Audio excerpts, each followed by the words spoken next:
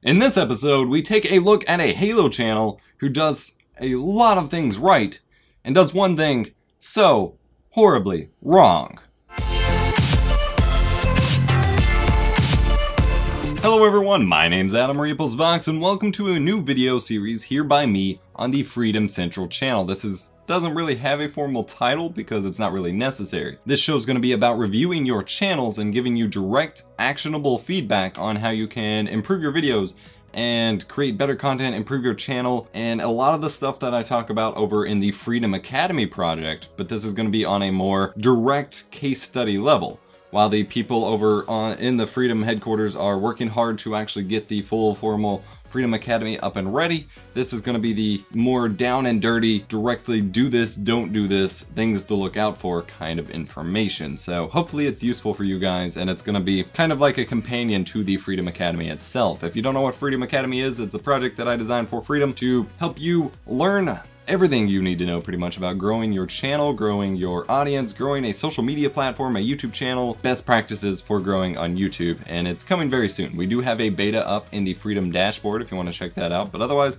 we're going to take a look at our first channel here today. This is a pilot episode, and it's kind of a two-part pilot because there's going to be a couple different kinds of episodes that I'm doing here, and so in this first episode, we're doing the more standard formal channel review, but in the next episode, we're actually going to be doing a video where it has a little bit more of something different. So make sure you stay tuned for episode 2 before casting your final judgment, but I will be open to any and all feedback in the comment section down below. Let's get started. Today we're taking a look at a Freedom partner by the handle Legundo. He's a buddy of mine that I've actually kind of coached along with the Freedom Academy stuff a little bit to get going here. He runs a primary Halo focused channel, but he also posts content from Overwatch, The Division. He's doing currently doing a live stream here of No Man's Sky, and he's done a couple videos on uh, Pokemon Go as well. But it's basically just a gaming channel with a very hard spine of Halo 5. And we're going to be taking a look at his channel and some things he could be doing better here in today's video. And I'm going to go ahead and go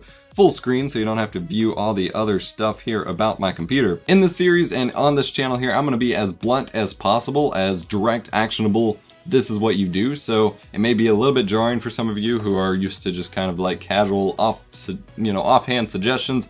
I'm going to say what's right and what's wrong about the channel. Now, if you go to his About section, he actually has a decent About section compared to most of the channels that I've been taking a look at here over the past few months. Uh, it's not the longest. He could use by having a little bit more information in there, but he has the words that describe what he's doing, the games he's playing, a schedule, and an estimated upload time, as well as some of his top series. And then he has a little call to action over here to come check out his IRL channel. And then he does have a friends and partners section here.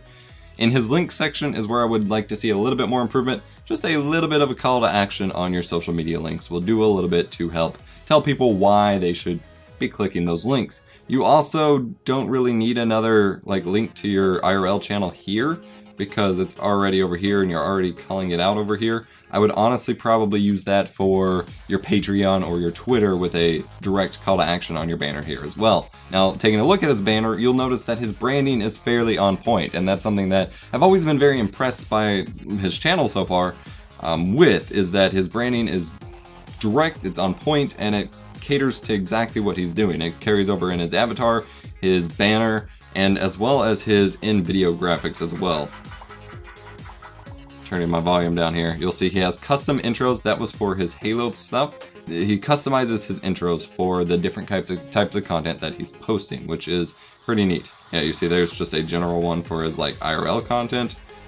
And then he has a totally different one here for Pokemon. There we go. And he's got a custom one for that his branding is very on point and this is something that you could learn from is having that strong of a consistent branding really helps convey what your channel is all about. And that's carried over here as well to his playlists he has very strict playlists about what his series are and you know what kind of video you're getting into by watching them.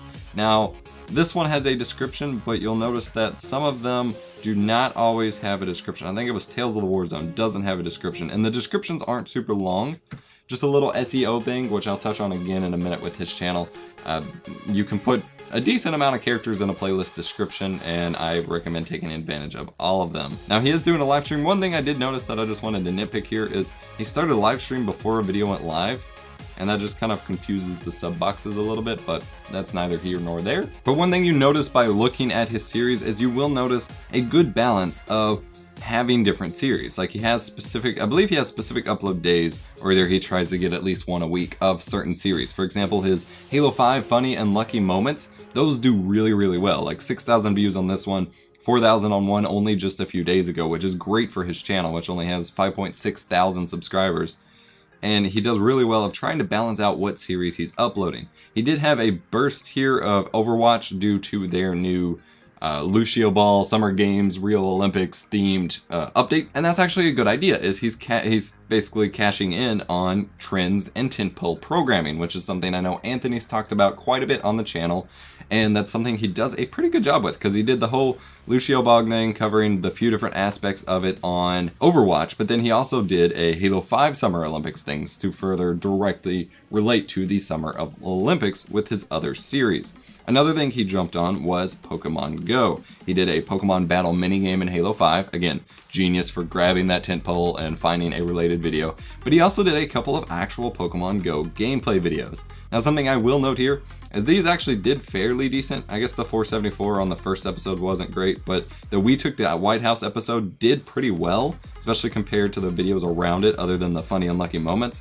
I might have still done a couple more of these, especially if you can, again, jump at some weird trending thing related to, you know, what's going on in real life and connect that back to Pokemon Go. That might be something you want to hook onto if the videos are still doing well. I realize the channel isn't entirely about Pokemon Go, but if something is doing well, you kind of want to keep pushing it out there. But you'll see very consistent in terms of he's got his face on a few videos every once in a while. You'll see Overwatch in bursts, Halo 5, and his Funny Unlucky Moment series, and then we'll probably see some integration of No Man's Sky since he's playing that as well. One more positive thing I wanted to take a look at here was his use of cards. This is something that not a lot of channels seem to get sometimes, but really, he really utilizes his cards. Whenever things are referenced, he has links to his other videos, and then he has his Patreon one at the end, which to me is how it should be. But now let's take a look at a few things that he should be doing better, because he's doing them very wrong in a couple situations here,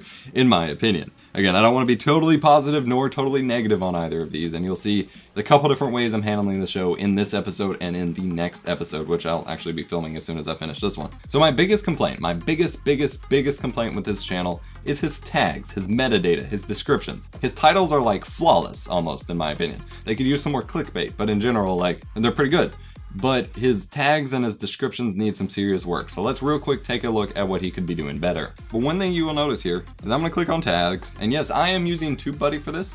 I find TubeBuddy to be a fantastic YouTube extension that anyone should use. Freedom also has their Heartbeat Chrome extension as well, which I would also recommend. Using one of these extensions to get more information about videos and more tools in your toolset is definitely something you need to be doing, using all the tools available to you. Now if we're looking at the tags here for his Halo 5 Summer Olympics, we see nothing. Okay, we, we see sort of two individual word tags about Summer Olympics. The rest are arbitrary one word or one phrase tags that aren't ever going to rank for him, one of them being HTTP for some reason, and one of them being Twitter for some reason. Nothing relating to Summer Olympics or Halo Summer Olympics map, Halo Olympics. Th these are very, very bad titles. I just, I, am like I said, I'm gonna be blunt. These are horrible tags. These are horrible tags. The title is fine. You could, like I said, it could inject it with some more clickbait if you want, but whatever. And it's got some decent views, and the watch time's probably decent since it's only 8 minutes long. It could be ranking for some stuff, but none of the tags are there. Well, first of all, Summer Olympics at all should be in there since it's in your title, and then Halo 5 Summer Olympics should be a tag as well. But one thing that I'll be harping on quite a bit throughout these videos is the order of your tags matters quite a bit. So people who put their channel name at the start of their tags, which he isn't doing here, but he's putting something about just as bad, something that you're never going to like matter for search for, basically instantly kills your SEO, and that's kind of a problem. And so for example here, his most of his tags, and especially the start ones, are tags that he's never gonna rank for. How many videos relate to Halo 5, Halo, Guardians, Master Chief, Warzone, gameplay, analysis as individual words? Those are all individual searches that essentially YouTube does and finds out where your video is. And you're never gonna rank for those. The tags should all be phrases that people are naturally gonna search for. Actual like sentences and phrases. Halo 5 Summer Olympics. Summer Olympics Halo map. Halo Olympics map. Halo 5 Summer Olympics custom map. Those kinds of things. And I bet he would probably start ranking for those. And actually, I can take a look at that here real quick with TubeBuddy. So we see the tags that he has, and they're all gonna say that he does not rank for them. No rank for any of these tags. Halo 5 Summer Olympics. Let's add that tag. Rank number two. So if anyone's looking for a tie-in between Halo 5 and Summer Olympics, it's right there. Halo Olympics map. Halo 5 Olympics map. Olympics, Halo map, things like that. Look, two, three, three, three. You're ranking for all of these things. These are things that people might actually be searching for. Summer Olympics in Halo 5. That sounds like a reasonable search. Number two, you're ranking for all of this stuff, and they're nowhere to be found in your video, or in your tags. Instead, you're tagging for things like HTTP and Twitter. Your video has nothing to do with Twitter. Your video's not gonna rank for Twitter. It's gonna rank for these things. Put these in your tags, please. And then same thing with your description. Your descriptions, like they're good. Like one thing that I've always liked is he always seems to, I, I switch between he and you because it's like, this is directed at him, but you're also supposed to learn from it too. I'll figure something out regarding that. But he always does a great job of linking the things that he references in here. So the videos, the blog posts, the update posts, things like that. But he only ever has like one or usually just like one or less than one sentence relating to what's actually in the video. Filling that up with a good paragraph or so, even if you break it up with the important links that you need people to click on, will add a lot to your SEO, especially if you incorporate Halo 5 and Summer, of uh, Summer Olympics into actual sentences within your description, it will boost your video quite a bit. And the one video that I really wanted to reference about this was your Funny Unlucky Moments series here. This is your best performing series by far. It gets thousands of views, like sometimes more than you actually have subscribers. I'm, I'm guessing these get shared like on Reddit and on Facebook groups and on Halo groups and things like that. And they're doing really, really ridiculously well. But I bet they could be doing substantially better if there was any description to be found on it, especially as long as they had funny unlucky moments integrated into a couple paragraphs a couple times, and if your tags at all reflected a funny and lucky moment series. You've got Halo 5 funny moments right there, which you're ranking 15 for, and then funny and lucky moments right there. Now you are surprisingly rating for ranking for Halo 5 for this one, but your standard videos are not. And especially if all your videos have Halo 5 and Guardians and things like that in them, your videos are competing with each other too. So I suggest also like finding especially if you want to clickbait these up a little bit, finding something specific that happens in each episode, like Mongoose Splatter, or Epic Mongoose Splatter, or Surprise Sticky, or something like that. Adding that at the start of the title and integrating some of that into your tagging. Like get rid of Luck and Grunts and Master Chief and Campaign. None of these belong in your tags. These are hurting your videos more than they could ever remotely help. Instead, integrate more funny moments, lucky moments, uh, funny moments montage, hilarious montage, hilarious moments, those kinds of things into your video and or into your tags and you're gonna have a lot better time, especially if you get a good description going there besides send your clips to me at Twitter. So this has been the first episode of my channel review series here. We're taking a look at Legundo, a Halo and other multiplayer game channel here. I guess No Man's Sky isn't multiplayer, but a gaming channel here at Freedom. This has been my thoughts as to what he could be doing better to help his channel succeed quite a bit, as well as what he's doing right that you guys could learn from.